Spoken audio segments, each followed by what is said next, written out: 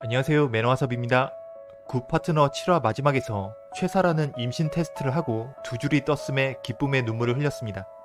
김지상은 전생에서 구원무가 아니었나 할 정도로 이번 생에도 쓰레기 같은 모습을 유지하고 있는데요. 김지상은 최사라와 결혼하지 않는다고 선언을 하고 최사라보다 김재희가 무조건 우선이라며 최사라에게 큰 상처를 주었죠. 오랑캐로 오랑캐를 잡는 통쾌한 느낌이었는데요. 최사라는 이렇게 김지상에게 버려질 때쯤 두 줄이 뜬 임신 테스트기를 마치 황금 동아줄처럼 바라보며 기뻐했습니다. 그런데 저는 최사라의 아이의 아빠가 김지상이 아닐 수 있다고 보는데요. 세 가지 이유로 그렇게 생각합니다. 첫 번째 이유는 8화 예고편에 있습니다. 8화의 의뢰인은 그동안 자신의 아이라고 생각하고 열심히 키웠는데 그 아이가 다른 사람의 아이인 아픔을 겪고 있습니다.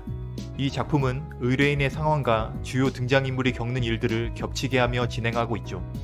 이번에도 남의 아이를 키운 의뢰인을 김지상의 상황과 연결하여 이끌어낼 수도 있다고 생각합니다.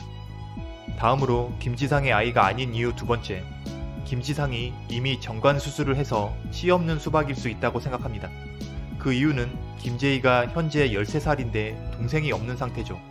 물론 작품에서 나왔듯이 김지상과 차은경은 같이 잠자리를 한 지 꽤 오래되었다고 나왔습니다. 하늘을 봐야 별을 따는데 하늘을 많이 못 봤으니 제이의 동생이 생기지 않았겠지만 그래도 혹시나 김지상이 제이를 낳고 서로 협의하에 이미 묶은 상태일 수 있겠죠. 지금처럼 사이가 나쁘지 않았던 뜨거운 열정이 있었을 때 제이만 열심히 키우자는 합의가 있었을 수 있습니다.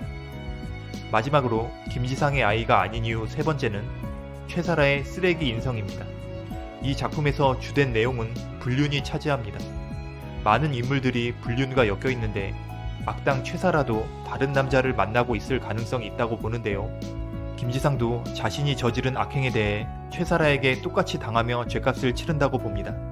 최사라도 김지상이 씨 없는 수박인지 모른 채 임신을 주장하다가 제대로 벌을 받는 내용이 나올 수 있다고 봅니다.